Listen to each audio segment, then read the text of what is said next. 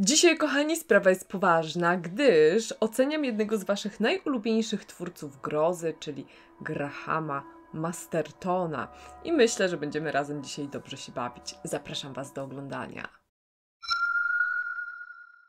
Hej, hej, moi drodzy, w ten jakże mroczny, jakże tajemniczy dzień. Wita Was Olga z Wielkiego Buka. Bezsenna środa, dzień grozy, dzień horroru na Wielkim Buku, dzień straszności, który spędzimy dzisiaj jednym z mistrzów, współczesnych mistrzów grozy właśnie. I tak przyznaję, ten filmik tak naprawdę powstał przez Was właśnie, dlatego że Graham Masterton jest przez wielu z Was uznawany za niedoścignionego mistrza jest jednym z Waszych najulubieńszych twórców. Ciekawostką, którą zauważyłam meandrując przez te wszystkie lata e, po internecie i zaułkach internetu również, jest fakt, że o ile na przykład e, o twórczości Stephena Kinga można powiedzieć wiele. Można jęczyć, można krytykować, można marudzić, a jego fani po prostu wzruszą ramionami. No cóż, tyle książek, więc no nie każda jest genialna, prawda? To z Grahamem Mastertonem sprawa jest nieco inna. Z fanami Grahama Mastertona, do których teraz ja również należę, a których nazywam e, pieszczotliwie Grahamkami, słuchajcie, nie ma żartów. Tutaj nie ma żartów. Wszystkie słowa krytyki traktowane są śmiertelnie poważnie. No i ja to rozumiem, słuchajcie, to jest miłość do utraty tchu. Ale ja, słuchajcie, sama pamiętam moje pierwsze spotkanie z twórczością Grahama Mastertona i część z Was z pewnością również je pamięta, bo było to spotkanie bardzo, bardzo nieudane. Moje pierwsze spotkanie z twórczością Grahama Mastertona okazało się być po prostu wielką porażką i wtedy to wy rzuciliście mi się z pomocą i podrzuciliście swoje ulubione tytuły. No i ja dzięki temu również doceniłam jego twórczość i stałam się fanką. Oczywiście Graham Masterton e, pisze dużo, wydaje często, to jest również kasus Stephena Kinga. No i właśnie ja dopiero tak naprawdę poznaję jego twórczość, e, odkrywam ją sobie. To co muszę przyznać to to, że oczywiście jego książki sprawiają mi masę radości. Ale słuchajcie, dzisiejszy filmik powstał również dla wszystkich tych, którzy często zadają mi pytanie: Olga, którego Mastertona polecasz? Olga, od jakiego Mastertona zacząć swoją przygodę? No właśnie, i ten filmik również powstał dla Was. To, o czym musicie pamiętać, to to, że Graham Masterton napisał moc, moc książek i jeszcze trochę, a ja przeczytałam, słuchajcie, do tej pory dopiero dziewięć. No właśnie, i ja na podstawie tych dziewięciu książek postanowiłam przygotować właśnie ten materiał, przypomnieć Wam moje wrażenia z lektury tych książek i również je ocenić, ale oczywiście tak z przymrużeniem oka. I oczywiście to, na co ja najbardziej czekam, to na Waszych mastertonowych ulubieńców w komentarzach pod tym filmem. Słuchajcie, podrzucajcie swoje ulubione jego książki, takie tytuły, które polecacie również innym na początek e, przygody. Dawajcie też znać, od jakiej książki zaczęliście przygodę z Mastertonem Wy. No właśnie, a my w takim razie zaczynamy i zapraszam Was do oglądania.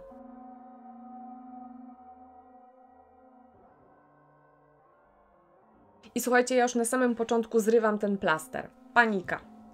Panika to jest właśnie ten tytuł, od którego zaczęłam moją przygodę z Grahamem Mastertonem, i to właśnie przez ten tytuł, przez długi, długi czas nie sięgnęłam po żadną inną książkę jego pióra. Gdyby nie wy, to myślę, że po tamtym spotkaniu właśnie do dzisiaj nie sięgnęłabym po żadną jego książkę i wiem, popełniłabym ogromny błąd, ale moje pierwsze spotkanie z paniką to była nie tylko nieudana fabuła, ale również z tego co pamiętam przekład pełen błędów. Z tego co pamiętam była tam i chicagowska Polonia, e, był tam chłopiec o e, specjalnych zdolnościach, był też, była też makabryczna zbrodnia w Puszczy Kampinoskiej i ogólnie y, koncept był naprawdę ciekawy, ale wykonanie wydało mi się zupełnie od czapy. Całość wydała mi się wtedy nielogiczna, do tego wypełniona polskimi stereotypami, chociaż wiem, że miał to być układ w stronę e, polskiego czytelnika. Po prostu zupełnie się od tej książki odbiłam. Dla mnie wtedy nie miała też e, nic wspólnego z pulpą horrorową, e, nie miała nic wspólnego z takim przerysowanym horrorem. Dla mnie to wtedy był po prostu ogromny niewypał i też żałowałam bardzo, że właśnie zaczęłam przygodę od tej książki, a nie od innej. Gdybym miała dać panice jakąś ocenę, to byłyby to dwie wypchane sowy, ale słuchajcie, po tych wszystkich latach zastanawiam się, jakbym panikę odebrała dzisiaj i czy moje wrażenia byłyby równie negatywne, czy spojrzałabym na nią inaczej. Bo jednak minęło 10 lat, i to doświadczenie horrorowe, którego przez te lata nabrałam, również z innymi tytułami, e, no myślę, że zmieniłoby moją optykę po prostu. A wydajcie znać, czy czytaliście panikę i e, czy Wam się podobała po prostu. No, ja się totalnie odbiłam, ale no myślę, żeby do niej powrócić. Dobra, słuchajcie, plaster zerwany i teraz totalna skrajność, bo tak jak panika zupełnie mi się nie podobała, to zachwyciłam się powieścią Wyklęty. I no, kochani, to jest słuchajcie, jeden z moich w ogóle najulubieńszych teraz horrorów, jakie przeczytałam. Jeden z moich prawdziwych ulubieńców. To jest totalny klasyk. I gdybym ja zaczęła przygodę od wyklętego, to moja przygoda z Mastertonem wyglądałaby zupełnie inaczej. Mamy tutaj miasteczko w cieniu legendarnego Salem nad oceanem. Mamy tajemniczy ładunek równie tajemniczego statku. Mamy również zmarłych, którzy wychodzą z grobów. Czego tu słuchajcie nie lubić? Tym bardziej, że Graham Masterton stworzył tutaj absolutnie fenomenalny nastrój. Nastrój, który jest naprawdę przerażający, budzi ciarki przerażenia i podczas lektury, kiedy przymierzałam uliczki miasteczka Granite Head, no często, często mm, miałam takie autentycznie aż dreszcze z przerażenia, takie obawy i były takie momenty, że nie mogłam w ogóle spać przy yy, no, zgaszonym świetle po prostu, a to nie jest łatwa sztuka. Niektóre sceny wyklętego na długo zostają w głowie, chociażby yy, no, ta huśtawka, również scena... Yy, w oceanie i nurkowania. O Jezu, to było przerażające, przerażające totalnie. E, I dla mnie, słuchajcie, Wyklęty jest w ogóle no totalnym klasykiem. To jest złota era horroru, to jest horror z krwi i kości, jeden z najlepszych możliwych. Dla mnie to jest duże, grubaśne wow i kto chce rozpocząć przygodę z Grahamem Mastertonem, a jednocześnie lubi taki właśnie starszy horror i ma ochotę się naprawdę wystraszyć. Wyklęty. Wyklęty to strzał w dziesiątkę. Rytuał. Kanibalistyczno-mistyczna powieść drogi z motywem kulinarnym, a ja sobie to cenię ogromnie, więc ja słuchajcie, byłam tu zachwycona. Mamy tutaj ekskluzywny klub kulinarny. Klub, który jest całkowicie niedostępny z zewnątrz. Klub, który jest tylko na zaproszenie. I to właśnie tym klubem kulinarnym interesuje się pewien inspektor kulinarny, a nie powinien się nim interesować. Masterton pysznie zbudował tutaj tajemnicę. On tutaj sączy nam nastrój e, takiego napięcia i oczekiwania na to, co będzie dalej. I finał, tak, finał jest nieco pulpowy, jest nieco przerysowany, ale przy takiej tematyce spokojnie może być. Jak się zmruży oczy, to jest w zasadzie całkiem idealnie. I dla mnie rytuał jest naprawdę fantastyczną lekturą i daje mu spokojnie kubełek ogryzionych kości.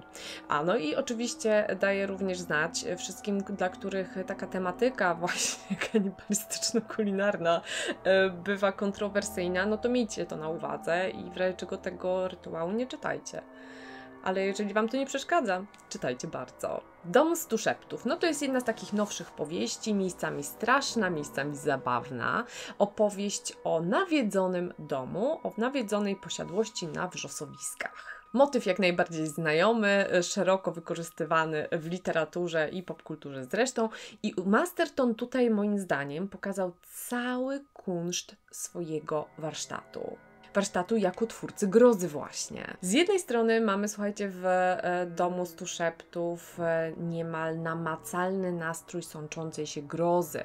E, mamy niemal taki hołd złożony psychologicznemu horrorowi, jak nawiedzony dom na wzgórzu Sherry Jackson. A z drugiej strony mamy absurd, mamy groteskę, mamy takie oczko puszczone w stronę czytelnika. Mamy ten humor, humor, który w horrorze i w gatunku, jakim jest horror, ma wymiar czysto oczyszczający, katarktyczny. Zresztą niejednokrotnie o tym wspominałam. I całość tutaj działa moim zdaniem perfekcyjnie i Dom Stu Szeptów, jeśli właśnie lubicie motyw nawiedzonych posiadłości, nawiedzonego domu, spodoba Wam się. Tak myślę. Szkarłatna Wdowa, Sabat Czarownic i słuchajcie, to są dwa pierwsze tomy serii thrillerów historycznych z elementami grozy, których główną bohaterką jest niejaka Beatrice Scarlett, czyli XVIII-wieczna alchemiczka, aptekarka, zielarka, która mierzy się z zabobonem i ze zbrodnią. Moim zdaniem Masterton, słuchajcie, bryluje tutaj w temacie. I nie, to nie jest, słuchajcie, horror per se, to nie jest groza per se, ale mamy tutaj takie właśnie meandrowanie pomiędzy tym, co bezlitosne, co rzeczywiste, a co bardzo okrutne. Mamy tutaj makabryczne sceny, yy, mamy takie motywy, które wyprowadzają czytelnika ze strefy komfortu. Mamy tutaj ogrom wyobraźni, mamy ogrom historycznego researchu i przede wszystkim mamy ogrom wyczucia. I tym samym Masterton udowadnia w, te, e, w tej serii właśnie, która się jeszcze mam nadzieję będzie kontynuować, bo ja na e, Beatrice czekam bardzo. On słuchajcie tutaj udowadnia, że on nie musi dosłownie straszyć, by czasami naprawdę przerazić. No to teraz słuchajcie, Jean i znowu złota era horroru, rok 1977, jeżeli dobrze pamiętam. I historia, historia, która tak, dla jednych może być objawieniem, a dla innych może być wcieleniem totalnego kiczu. I jedni i drudzy będą mieli rację. Masterton czerpie tutaj oczywiście z legend, czerpie tutaj z baśni, e, wyciąga nam i przedstawia czcicieli dżinów, e, tajemnicze dzbany, e, artefakty pustyni, legendy właśnie. No i oczywiście klątwy, klątwy, o których prawie zapomniałam, wszystko to jest ogromnie ciekawe, przypomina takie motywy wyciągnięte z powieści przygodowych. I z jednej strony mamy tak, że czasami ten nastrój w powieści bywa taki mglisty, sączący się, naprawdę niesamowity, e, tym bardziej właśnie na samym początku, kiedy to napięcie się buduje, ale bywają takie momenty takiej tendety, że słuchajcie, my zagryzamy zęby po prostu, trochę ze wstydu, wiecie, z takiego cringe'u. Więc tak jak mówię, albo objawienie, albo totalny kicz, albo jedno i drugie. Y, można się bawić prześwietnie, tak czy siak, dlatego że sama ta historia jest fantastycznie skonstruowana właśnie y, wokół tej tajemnicy, tego sekretu, ale to, co mi się ogromnie spodobało w Ginie, to jest to drugie dno. Y, oczywiście jego nie trzeba zauważać w żaden sposób, ale chodzi mi o poruszenie tematu handlu, nielegalnego handlu i operowania artefaktami właśnie archeologicznymi. To był, słuchajcie, ogromny problem właśnie pod koniec lat 70., szeroko omawiany właśnie w kręgach historycznych. Masterton go wykorzystał w bardzo właśnie pulpowy sposób, ale dyskusja na ten temat, słuchajcie, trwa do dziś, więc, e, więc jak najbardziej temat jest adekwatny i Gina można czytać tylko jako horrorową pulpę, a również jako coś, co porusza ciekawy i intrygujący i ważny temat. Miałam oceniać te książki, więc łapcie pięć pękatych dzbanów. Co jest w środku? Nie wiadomo. Mogą się sączyć, mogą szeptać, sami się przekonacie. O. Manitu. No to jest, kochani, no absolutny klasyk, jeżeli chodzi o Mastertona i tutaj Grahamki polecać bardziej klasycznej Mastertonowej powieści nie mogą. No i co? Manitu to jest taki klasyk z tak odjechanym konceptem, że można go wziąć śmiertelnie poważnie właśnie, albo można się śmiać. Ja wybrałam to drugie. Mamy tutaj 300-letniego indyjskiego szamana, który odradza się w ciele młodej kobiety. I tą kobietą jest taka klasyczna, wręcz memiczna niemal Karen. Mamy tutaj również jasnowidza, no i mamy owego szamana. Tytułowy Manitu z jednej strony ma wymiar całkowicie strasznie przerażający, ale z drugiej strony e, no, nawiązuje do takiego klasycznego horroru typu B, C i dla mnie Manitu jest właśnie e, tak tego rodzaju powieścią. Ale i tutaj jak z Jeanem. To, co mi się ogromnie spodobało, że ten tytułowy Manitu, to on wcale tak się znikąd nie wziął, ale słuchajcie, wziął się z notatek nikogo innego jak H.P. Lovecrafta. H.P. Lovecraft e, zostawił po sobie nie dość, że e, korespondencję, którą trudno objąć nawet słowami, bo to są mil w milionach, tysiącach, tysiącach, milionach I korespondencja to jest jedno, ale zostawił również mnóstwo notatek. I te notatki wykorzystali e, jego przyjaciele, kontynuatorzy jego dzieła, z e, niejakim Derlefem na czele, i on również właśnie wykorzystał postać Manitu. I ta postać, ona jakby się właśnie rozrosła, i Graham Masterton ją również wykorzystał. A poza tym to w Manitu pojawia się oczywiście motyw zemsty, motyw mitologii rdzennych plemion, wszystko to bezpretensjonalnie, na lekko, również takim przymrużeniem oka w stronę czytelnika. Wszystko to niezmiennie ciekawie, ale to, co ja zauważyłam, to jest to, że Manitu się trochę dziwnie zestarzał. I oczywiście to jest kwestia perspektywy, dlatego że wiem, że istnieją totalnie zatwardziali fani tej powieści. No, sami musicie się przekonać. I wreszcie mój dziewiąty tytuł przeczytany to jest Zwierciadło Piekieł. No, I tutaj mamy hollywoodzkiego scenarzystę, mamy również wspomnienie hollywoodzkiej dziecięcej gwiazdy filmowej i mamy tajemnicze zwierciadło. Horrory z lustrami, nie wiem czy też tak macie, mają to do siebie, że niezmiennie robią wrażenie. No bo jednak lustro to mamy w domu chyba wszyscy. I lustro nam towarzyszy od dziecka. I to lustro i jego taki, takie niedopowiedzenie właśnie lustrzane, tego co się kryje w odbiciu, kiedy jeszcze jest podjudzane wyobraźnią i takimi powieściami jak zwierciadło piekieł, no to można nieźle się przerazić. A Masterton wymyślił powieść genialną, taka, która naprawdę, no, ona wyprowadza z równowagi miejscami. I powiem Wam tak, to co w zwierciadle piekieł robi ogromne wrażenie, to jest pierwsza połowa tej powieści. E, szczególnie w takich scenach to widać, gdzie na przykład w tytułowym lustrze pojawia się znienacka odbicie. Albo w opuszczonym pokoju, gdzie jest owe lustro, słychać chichot dziecka. Potem jest takie trochę szaleństwo, ale to jest tak samo jak z wyklętym, którego wcześniej wspominałam. E, no dlatego, że tutaj już e, ten moment budowania napięcia mija i czas ruszyć z akcją. I tak jak z ogromnie żałuję, że to nie od zwierciadła piekieł rozpoczęłam moją przygodę z twórczością Grahama Mastertona, bo to wszystko wyglądałoby zupełnie inaczej. I również jeżeli macie ochotę zacząć tę przygodę, to zwierciadło piekieł moim zdaniem jest fantastycznym punktem wyjścia. Mam wrażenie również, że zaczęłam czytać Bazyliszka. Bazyliszka, który jest e, początkiem serii o kryptozoologu, są dwa tytuły, Bazyliczek i Noc Gargulców, ale um, nie podaję go w dzisiejszym zestawieniu, dlatego że mam wrażenie, że dopiero zaczęłam go kiedyś dawno temu czytać i potem odstawiłam właśnie mm, po mojej przygodzie z paniką. A tam był fantastyczny koncept tego kryptozoologa, słuchajcie, eksperymentów właśnie związanych z tym i był również motyw polski, bo to wszystko zawraca do Krakowa i legendy, naszej legendy o Bazyliszku. Fantastycznie, fantastycznie to się zapowiada, na pewno do Bazyliszka i do Nocy Gargurtów e, powrócę.